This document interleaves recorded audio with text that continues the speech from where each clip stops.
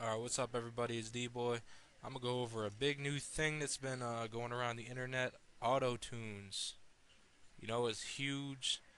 A lot, lot of, uh, you know, rappers and everything are using it. T-Pain, Kanye West, Snoop Dogg, whole bunch of people, even Cher. Cher, one of the first ones to start using it, really.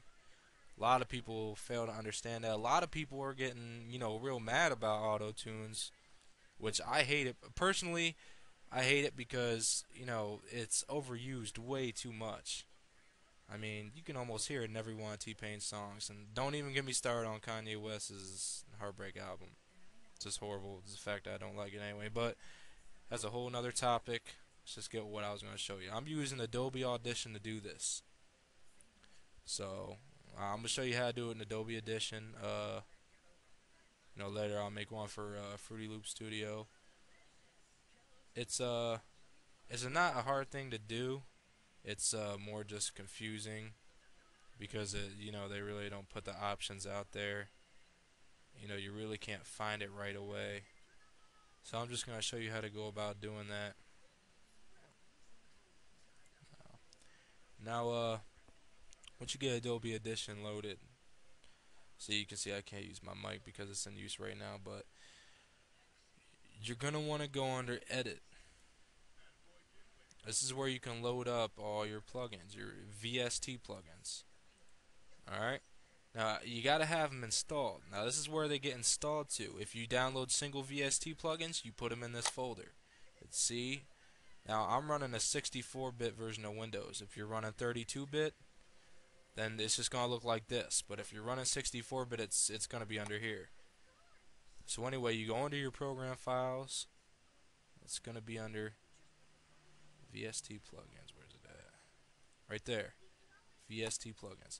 You can see everything you have, and I got Harmony Engine, Auto Tune, the FL Studio plugins, uh, some more the more Antares plugins, but they're all right here. Now, after you got them there, however you get them, installer, you extracted them, whatever, Go under Effects. Go down to VST Plugin Manager. That's all you gotta do. Just click it and it will do the rest of the work for you. It'll come up with a little box.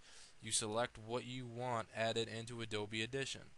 Now obviously I'm not gonna use Fruity Loop Studio plugins because it's just, just not it's unsupported to begin with, but you have no need for it.